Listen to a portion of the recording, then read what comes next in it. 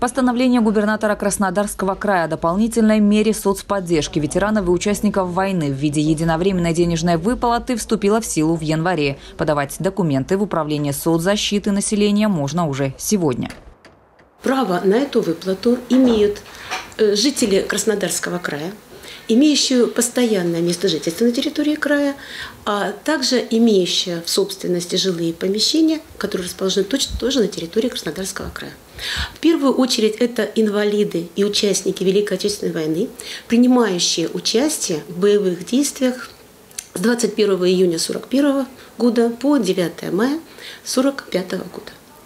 К данной категории не э, предъявляется требование наличия собственности на жилое помещение. То есть независимо от э, собственности на жилое помещение, они получают эту выплату в размере 100 тысяч рублей. Они могут быть и не собственниками жилых помещений, но выплата им предусмотрена. Прописано да, да.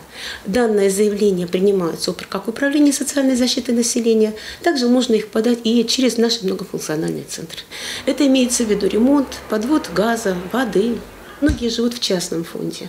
Где-то уже и водопровод прохудился. Может быть, кому-то действительно надо э, новый газовый котел купить. Это же тоже считается как улучшение жилищных условий, то есть улучшение благосостояния наших ветеранов.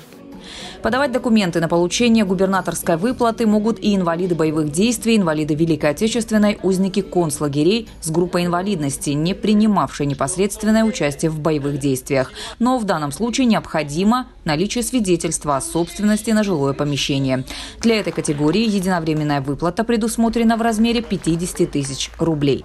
30 тысяч к 70-летию Победы выплатят участникам Великой Отечественной войны и узникам фашистских концлагерей без группы инвалидности, а также также членам семей погибших инвалидов и участников войны.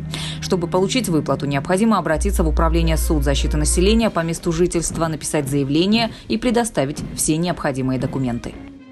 Срок не ограничен в законе, но я думаю, что, конечно, все хотят получить эту выплату к 75-летию Победы, поэтому мы ждем вас уже с сегодняшнего дня, и чем быстрее вы принесете нам документы, я думаю, что в марте-апреле эти деньги уже будут выделены и направлены на счета наших ветеранов.